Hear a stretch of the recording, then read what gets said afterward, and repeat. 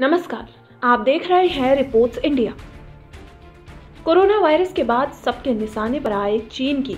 घेराबंदी की तैयारी पूरी हो चुकी है, जिस वायरस ने पूरी दुनिया के हेल्थ और इकोनॉमिक सिस्टम को हिलाकर रख दिया है।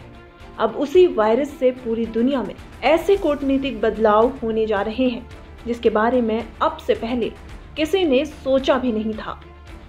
चीन के खिलाफ घेराबंदी की पूरी प्लानिंग अमेरिका ने की है। चीन को हर मोर्चे पर मात देने की तैयारी है और इसमें अमेरिका समेत सात देश एक साथ आकर चीन को कड़ा संदेश दे चुके हैं।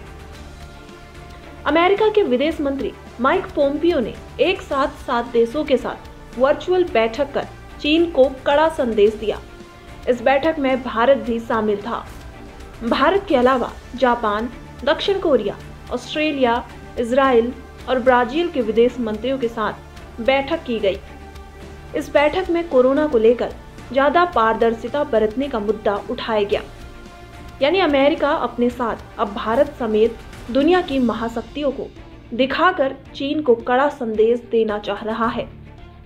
पोम्पियो के आग्रह पर बुलाई गई इस बैठक को अमेरिकी राष्ट्रपति डोनाल्ड ट्रंप की तरफ़ से चीन पर लगातार निशाना साधने की रणनीति के अगले चरण के तौर पर देखा जा सकता है।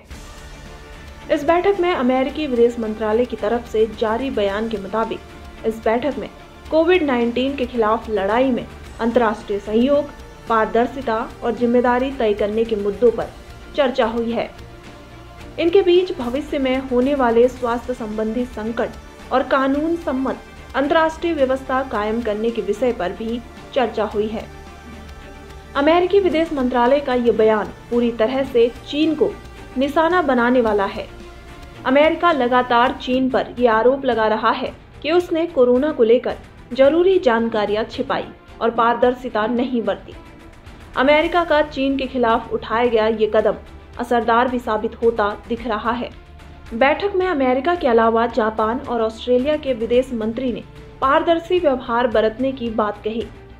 ऐसा पहली बार हुआ है कि अमेरिका ने कुछ प्रमुख देशों को एक साथ कोविड 19 पर विचार विमर्श करने को इकट्ठा किया। अमेरिकी विदेश मंत्रालय का बयान साफ़ तौर पर संकेत देता है कि इसमें साउथ चाइना सी का मुद्दा भी उठा है।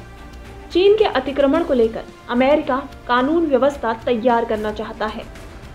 भारत समेत जापान, ऑस्ट्रेलिया भी इस रुख से सहमत है। अमेरिका ऐसी बैठक कर चीन पर कूटनीतिक दबाव बनाना चाहता है। दुनिया के बाकी देशों को चीन के खिलाफ एकजुट करना चाहता है। अमेरिका में कोरोना को लेकर हालात हर दिन बेकाबू हो रहे हैं। अमेरिका इसके लिए चीन को जिम्मेदार मानता है। यही वजह है कि वो बदले के लिए बेकरार है और चीन को मात देने की हर वक्त प्लानिंग में लगा है।